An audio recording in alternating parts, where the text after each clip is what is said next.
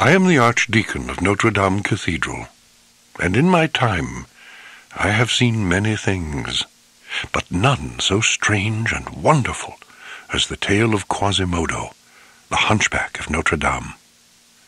To hear his story, you can read along with me in your book. You will know it's time to turn the page when you hear this sound. Let's begin now. One stormy night, in the shadow of Notre Dame, some gypsies tried to sneak into Paris by boat. But a trap had been laid, and the evil Judge Frollo was waiting to arrest the gypsies. One of the women, clutching a bundle, ran to the cathedral for help. In her haste, she tripped on the steps and fell to the ground. Frollo, thinking the bundle held stolen goods, was surprised to hear it cry. A baby? Then he saw its face. A monster? Frollo was about to drop the bundle down a well when I stepped from the cathedral and commanded him to stop. He drew the child back, his hand quivering. What must I do? Care for the child and raise it as your own. Frollo was not pleased, but he agreed on the condition that we keep the child in the cathedral. Frollo gave the child a cruel name, a name that means half-formed, Quasimodo. The years passed. Quasimodo, now a young man, had become the bell ringer of Notre Dame. He spent his time alone in the bell tower, building a tiny model of the city where he longed to be. But I'd never fit in out there. I'm not normal. Although Frollo was the only visitor to the bell tower, Quasimodo was often heard talking to the stone gargoyles, whom he called Hugo, Victor, and Laverne. Quasimodo loved watching festivals in the town square below. His favorite was the Feast of Fools, a celebration in which the men wore masks. But this year, he took one look and went back into the tower. Seeing this, Laverne shook her head sadly. What good is watching a party if you never get to go here? Get away from me. Go on, you bunch of buzzards. He's not made of stone like us. Inside, Quasimodo found Judge Frollo in the doorway. As always, Frollo made him promise never to leave the tower. And so Quasimodo had to be satisfied playing with the people of his toy city. But in the square, another young man shouldered his way through a crowd of real people. His name was Phoebus, and he had just arrived in Paris. Excuse me, gentlemen. I'm looking for the Palace of Justice. Would you... Suddenly, he stopped, and his eyes met the gaze of a young gypsy. She was the most beautiful woman he had ever seen. Before Phoebus could say anything, two soldiers came up to the young woman and accused her of stealing. She ran, and Phoebus moved his horse to block the soldiers' way. Oh, dear, I'm sorry. Naughty horse. Naughty. One of the soldiers drew a dagger. I'll teach you a lesson, peasant. Phoebus pulled back his cloak to reveal a captain's uniform. The soldier bowed. At your service, sir. The soldiers led Phoebus to the Palace of Justice, where Frollo welcomed him as the new captain of the guard. You've come to Paris in her darkest hour, Captain. The gypsies live outside the normal order. I believe they have a safe haven within the walls of this very city. A, a nest, if you will. They call it the Court of Miracles. Frollo ordered Phoebus to find the gypsies' nest and to crush them like ants. Quasimodo, in the meantime, had grown tired of his toy city and longed for the real thing. Swinging down from the tower, he crashed into one of the festival tents. When he looked up, he was staring into the lovely face of the young gypsy woman, whose name was Esmeralda. Quasimodo struggled to his feet. I, I didn't mean to. I, I'm sorry. But in that moment, everything had changed. Quasimodo was in love. A short time later, everyone gathered for the festival's big event, a contest to choose the ugliest man in the city who would be crowned the King of Fools. As the crowd watched, Esmeralda went down a row of contestants, taking off each mask. When she got to Quasimodo, the people gasped.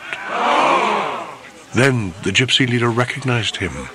We asked for the ugliest face in Paris, and here he is! Quasimodo, the Hunchback of Notre Dame! A few people in the crowd lifted him onto their shoulders, and Frollo's men started laughing and throwing food at him. You think he's ugly now? Watch this. Frollo looked on but refused to help. He was furious that Quasimodo had disobeyed him. Finally, Esmeralda stepped in. Seeing what Frollo had done, she called to him angrily. You mistreat this poor boy the same way you mistreat my people. The only fool I see is you. Frollo ordered Phoebus to arrest her, but she took off running through the crowd with her goat, Djali. She ran to the cathedral, but Phoebus followed. When Frollo caught up, he grinned in triumph. That's when I stepped in, as the Archdeacon of Notre Dame. Frollo, you will not touch her. Frollo glared at Esmeralda. You've chosen a magnificent prison, but it is a prison nonetheless. Set one foot outside, and you're mine. He stormed off, with Phoebus close behind. Esmeralda looked up and saw Quasimodo watching from the stairway. Wait. I'd like to talk to you. She followed him to the tower, where, shyly, he showed her his toy village and introduced her to the bells. Then he helped her escape Frollo's soldiers by carrying her down the side of the tower. In exchange, she gave him the special necklace she always wore, saying it would lead him to safety if he ever needed it.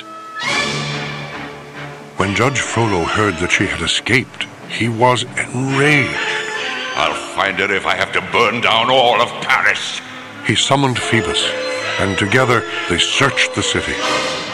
Frollo suspected a miller and his family of hiding Esmeralda, and he ordered Phoebus to burn down their house. When Phoebus refused, the judge got even angrier. Insolent coward. The sentence for insubordination is death. The soldiers prepared to execute Phoebus. But Esmeralda, watching in secret, threw a rock at Frollo's horse. It reared, dumping Frollo to the ground. Phoebus broke free, hopped onto the horse, and rode off in a hail of arrows. As he crossed the river, one of the arrows struck him, and he fell into the water. Esmeralda slipped into the river and pulled him to safety. Phoebus was unconscious, but still breathing. She had to get help. But where? That's when she thought of her friend, Quasimodo. Back at the cathedral, Quasimodo looked down at the streets of Paris far below. Any sign of her? Victor couldn't believe it. Oh, it's a lost cause! She could be anywhere! Suddenly, Esmeralda appeared in the doorway, supporting the injured Phoebus. I knew he'd be safe here. Please, can you hide him? Quasimodo agreed. As he watched them exchange tender looks, he knew that his love for Esmeralda was doomed. Just then, Quasimodo heard hoofbeats in the square below. Frollo's coming. You must leave. Quick, follow me. He took Esmeralda out the back way, then hid Phoebus and turned to face his master. Frollo was livid. I know. You helped her escape. Well, Never you mind, Quasimodo. I know where her hideout is, and tomorrow at dawn, I attack with a thousand men. The minute Frollo left, Phoebus came out of his hiding place. We have to find the Court of Miracles before daybreak. If Frollo gets there first, are you coming with me? Quasimodo stared at the floor. I can't. You do what you think is right. Phoebus staggered off. The gargoyles glared at Quasimodo until finally he ran to catch up. Phoebus, I'm coming with you. I'm doing it for her.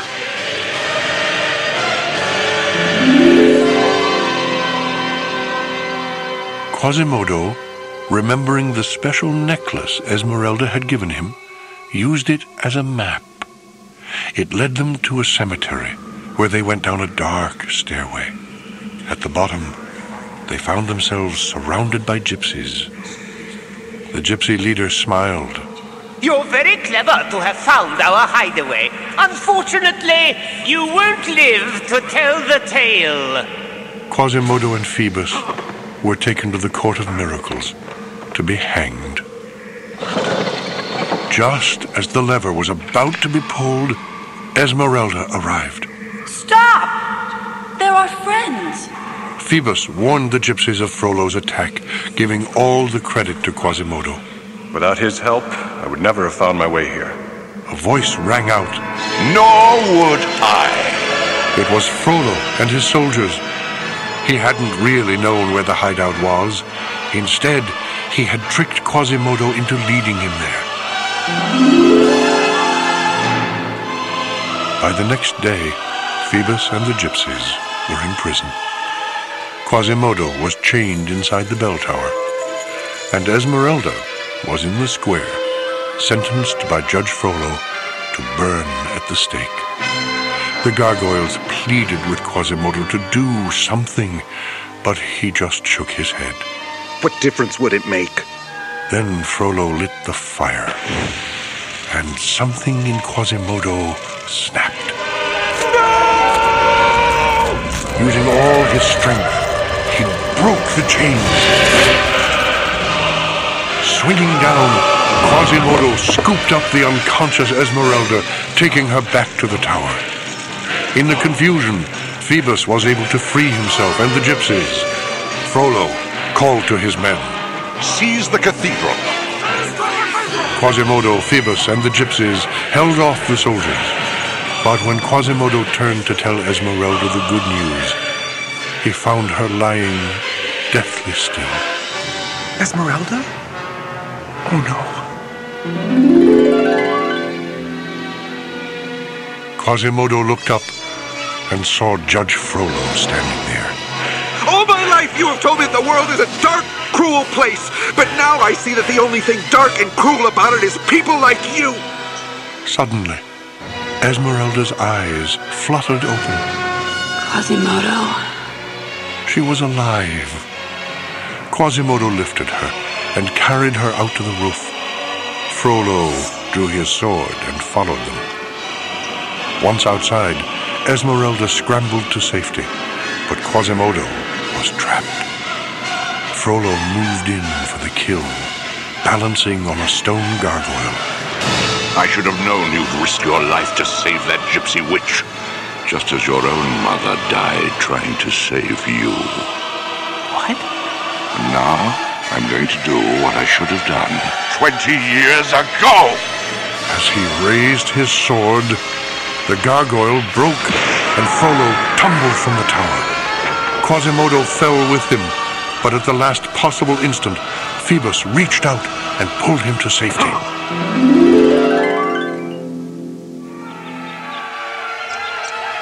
A new day was dawning in Paris as Phoebus and Esmeralda walked proudly into the square, greeted by a happy crowd. The gypsy leader turned to the people. Three cheers for Quasimodo! As they cheered, Quasimodo smiled and stepped out into the sunshine. The long night of his captivity was over. No longer would he have to dwell among the shadows of the cathedral. or in the darkness of his own fears. That is the end of our story. If you would like to hear it again, just turn the tape over.